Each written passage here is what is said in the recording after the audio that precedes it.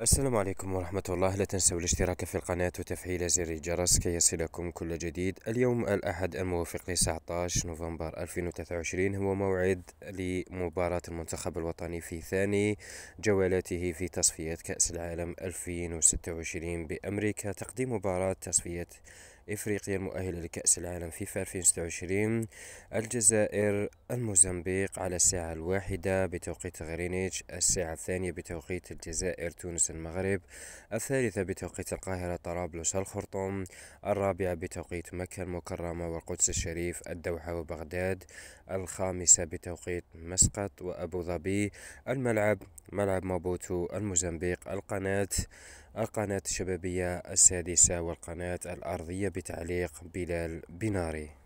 كما يمكنكم متابعة القناة على عدة قنوات أخرى أبرزها القناة الرياضية الجديدة السعودية بتعليق علي ربيع.